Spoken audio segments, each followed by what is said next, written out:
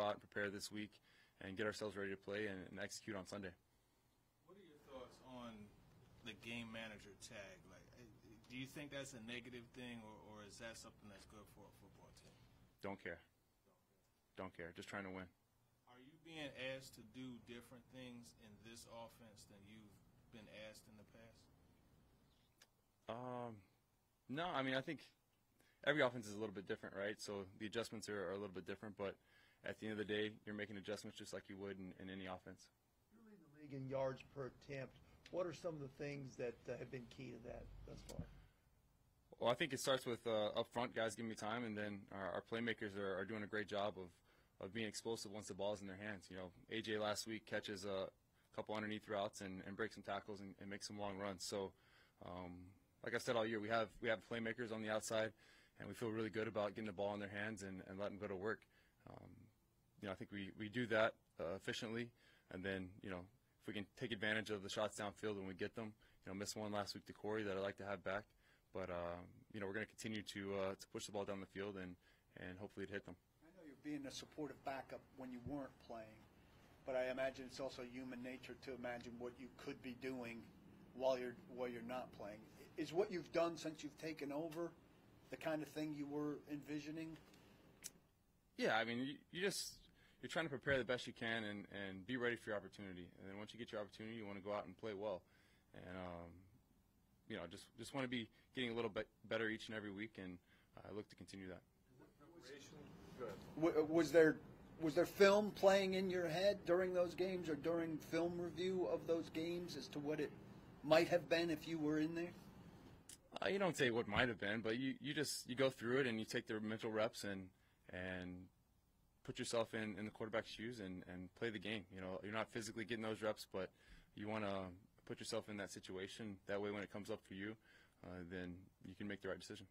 Game week preparation changed or evolved for you over time, and maybe even since this transition?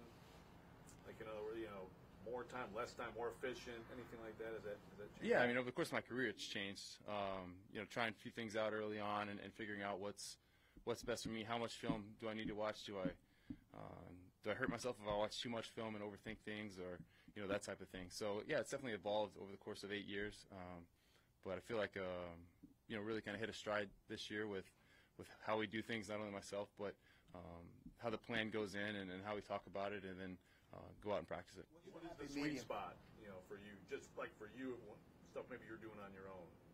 Yeah, it's it's a balance of taking care of the body, doing all the things to take care of your body, and then and then mentally prepare. So it's you know tape, uh, going through the calls, um, the the installs. You know, going through mentally. Okay, this coverage, what's my plan? This coverage, what's my plan?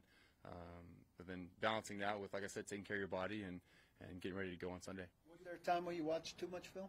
I think so. Probably early in my career. Um, you know, I wanted to see every snap that the team had played the whole year. So it gets late in the year, and it's a lot of tape to be watching. You know, so uh, I've dialed that back a little bit. Uh, we still watch a, a lot of a lot of football and a lot of snaps, but uh, try to split it up a little bit. The other quarterbacks help me out and and take a couple games off my plate too. So uh, at the end of the day, we end up you know getting all the film we need.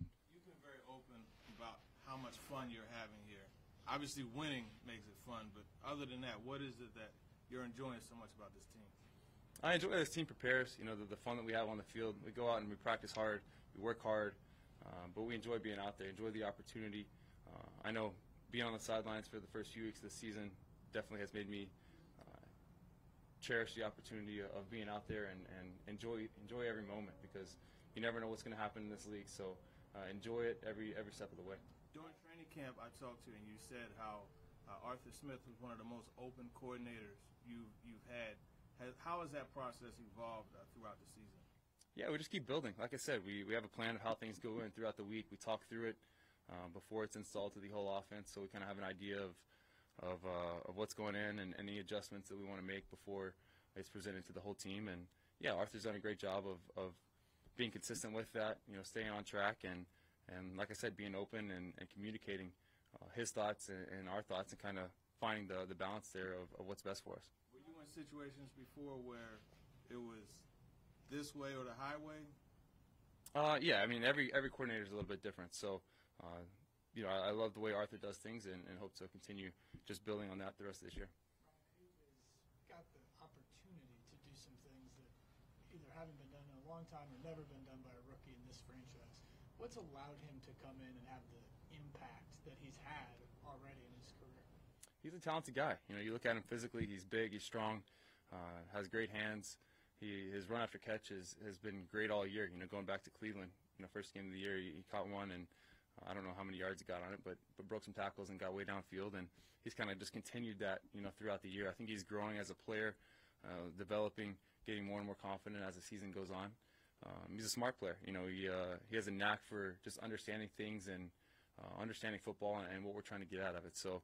Um, I like the track that he's on. Like I said, if we can just keep pushing him and, and ask him to get a little better every week, you know, he's going to be a, a great player. I think it's in some of the things that have gotten better on the offense. It's just been a matter of kind of being patient and, and fighting through some things.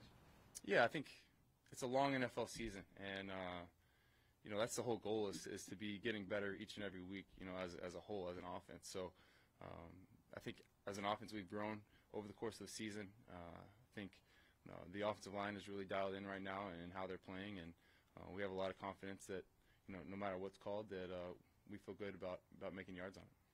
Obviously, you have a perfect good connection and have confidence in your. What, I guess what's your confidence level in the tight ends? Uh, Delanie goes on IR today, but it seems like you have a pretty good rapport with the other guys. What, what's your confidence level with that group as a whole?